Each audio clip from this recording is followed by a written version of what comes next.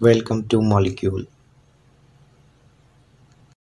Hello friends today my topic of discussion is denaturation of proteins तो आज का हमारा टॉपिक ऑफ़ डिस्कशन है डीनेचुरेशन ऑफ़ प्रोटीन्स तो आइए शुरू करते हैं। Denaturation is a process in which proteins lose their native conformation इसका मतलब ये है कि प्रोटीन का जो थ्री डायमेंशनल स्ट्रक्चर होता है, अगर वो किसी भी वजह से चेंज हो जाए आल्टर हो जाए तो उसको कहते हैं डीनेचुरेशन इससे क्या होगा? प्रोटीन की जो बायोलॉजिकल एक्टिविटी है, वो लॉस हो जाएगी। और प्रोटीन का जो normal biological active folded conformation है, वो चेंज हो जाएगा। तो डीनेचुरेशन में प्रोटीन का स्ट्रक्चर चेंज हो जाता है। तो स्ट्रक्चर चेंज होने की वजह से उनकी एक्टिविटी चेंज हो जाती है। तो जो वो नॉर्मल एक्टिविटी प्रोटीन कर रही थी, वो नहीं कर पाती है। तो इसे कहते हैं denaturation of proteins it includes loss of quaternary tertiary and secondary structure of a protein जब भी डीनेचुरेशन ऑफ़ प्रोटीन होगा तो quaternary tertiary and secondary structure of protein तो चेंज हो जाएगा, लेकिन जो प्राइमरी स्ट्रक्चर होता है प्रोटीन का, वो कभी चेंज नहीं होता है। तो जो सीक्वेंस है अमीनो एसिड का, वो चेंज नहीं होगा। क्यों नहीं चेंज होगा? क्योंकि पेप्टाइड बॉन्ड नहीं टूटते हैं डीनेचुरेशन ऑफ़ प्रोटीन्स में। उसमें टूटते क्या है? और जो covalent and non covalent interaction हैं, जैसे van der Waals forces hydrogen bonding salt bridges hydrophobic interaction disulphide bonds ये सब ब्रेक होते हैं। लेकिन कभी भी पेप्टाइड बॉन्ड नहीं टूटता है। तो जो प्राइमरी स्ट्रक्चर ऑफ़ प्रोटीन है, वो कभी भी अल्टर नहीं होता है।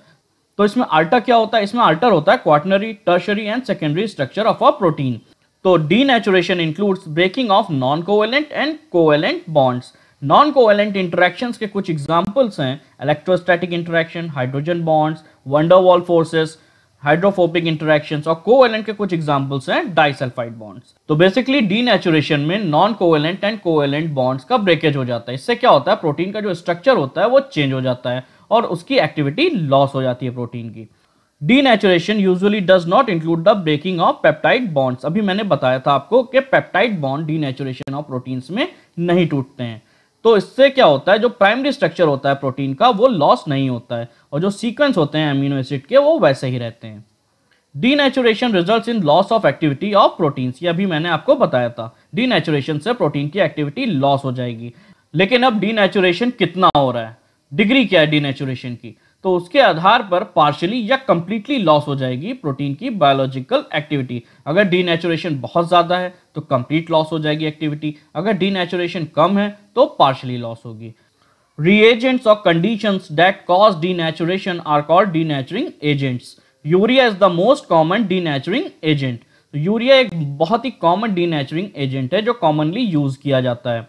और उसके अलावा कोई भी एजेंट जो डीनेचुरेशन कराए प्रोटीन्स का, उसे कहते हैं डीनेचरिंग एजेंट्स डीनेचुरेशन में क्या होता है? जो प्रोटीन का स्ट्रक्चर होता है सेकेंडरी टर्शरी क्वार्टनरी जो फोल्डेड कन्फॉर्मेशन होता है प्रोटीन का, वो बेसिकली अनफोल्डेड हो जाता है। तो यहाँ पे डायग्राम में यही दिखाया जा रहा है। यहाँ पे फोल्डेड प्रोटीन का कन्फॉर्मेशन था डीनेचुरेशन हुआ तो ये अनफोल्डेड हो गया। मतलब ये ओपन हो गया। अब next examples of denaturing agents denaturing agents वो एजेंट्स हैं जो प्रोटीन का डीनेचुरेशन कराते हैं, जिससे उनका स्ट्रक्चर चेंज हो जाता है और फ़ंक्शन अल्टर हो जाता है प्रोटीन्स का। तो कुछ एग्जांपल्स डीनेचरिंग एजेंट्स के यहाँ पे दिए हुए हैं, जिसमें नंबर वन है strong acids and bases strong acids के कुछ एग्जाम्पल्स हैं, जैसे S C L H two S O four strong bases के कुछ एग्जाम्पल्स हैं, जैसे पोटेशियम हाइड्रोक्साइड सोडियम हाइड्रोक्साइड ये पीएच में चेंज कर देते हैं। पीएच या तो बहुत बढ़ा देते हैं या बहुत कम कर देते हैं। तो इससे क्या होता है? प्रोटोनेशन और डीप्रोटोनेशन हो जाता है of the side groups of amino acids of protein और इससे हाइड्रोजन बॉन्डिंग और साल्ट ब्रिज पैटर्न आल्टा हो जाता है प्रोटीन्स का। तो उनका फ़ंक्शन प्रोटीन्स का आल्टा हो जाता है। नंबर सेकेंड है organic solvent such as ethanol ये करता क्या है? ये इंटरमोलिकुलर हाइड्रोजन बॉन्डिंग बना लेता है प्रोटीन से। उससे क्या होता है? इंट्रामोलिकुलर हाइड्रोजन बॉन्डिंग डिस्टर्ब हो जाती है। मतलब organic solvent such as ethanol ये हाइड्रोजन बॉन्डिंग को डिस्टर्ब कर देता है प्रोटीन्स के। लेकिन अगर organic solvents as a whole देखें तो जो मेन इंटरेक्शन है, जो ऑर्गेनिक सॉल्वेंट्स डिस्टर्ब करते हैं प्रोटीन्स के, वो होते हैं कोएलेंट बॉन्ड्स ये बात हमेशा याद रखिएगा। ऑर्गेनिक सॉल्वेंट्स कोएलेंट बॉन्ड्स को हमेशा इफ़ेक्ट करते हैं।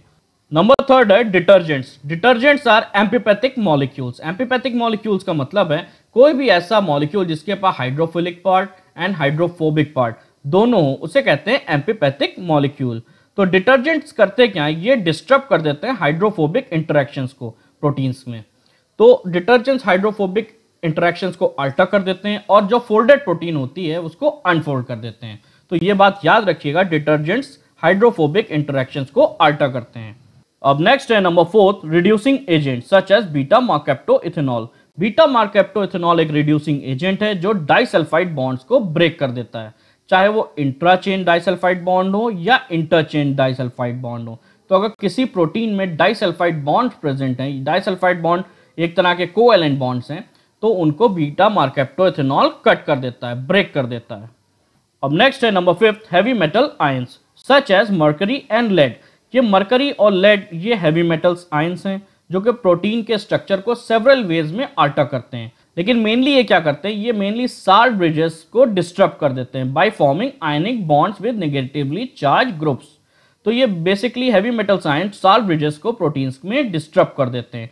इसके अलावा heavy metals also bond with sulphydryl groups S groups अब नेक्स्ट है number six heat As the temperature increases, the rate of molecular vibration increases.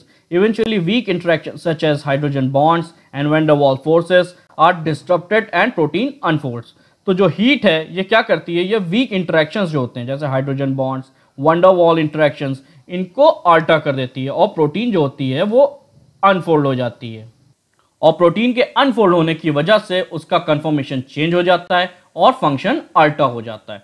तो ये थे कुछ एग्जाम्पल्स डीनेचरिंग एजेंट्स के जो प्रोटीन्स का स्ट्रक्चर को चेंज कर देते हैं। और उससे क्या होता है? उनका प्रोटीन्स का फ़ंक्शन लॉस हो जाता है पार्शली या कंप्लीटली तो आई होप आपको डीनेचुरेशन ऑफ़ प्रोटीन समझ में आया होगा।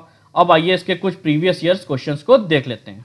तो ये है कुछ सी एस आई नेट के previous years questions on denaturation of proteins जिसमें क्वेश्चन नंबर वन है जो कि पूछा गया था दिसंबर 2008 में। Globular protein when treated with organic solvent get denatured. The main interaction which is affected on treatment with organic solvent इज़ तो मैंने अभी आपको बताया था पहले कि जो मेन इंटरेक्शन है, जो कि ऑर्गेनिक सॉल्वेंट अल्टर करते हैं, वो है कोएलेंट बॉन्ड्स तो इसमें ऑप्शन बी में कोएलेंट बॉन्ड्स दिया हुआ है. तो covalent bonds is the right answer अब नेक्स्ट है क्वेश्चन नंबर टू जो कि पूछा गया था दिसंबर 2009 में. Proteins when treated with detergents get denatured the main interaction which is affected by the treatment is तो अभी मैंने आपको पहले बताया था कि जब डिटर्जेंट से आप प्रोटीन्स को ट्रीटमेंट देंगे तो हाइड्रोफोबिक इंटरेक्शंस अल्टर होंगे. तो A hydrophobic interaction is the right answer तो ये थे कुछ क्वेश्चन जो कि पूछे गए थे C S I R NET में। आई होप आपको क्वेश्चन समझ में आए होंगे। Thank you please like share and subscribe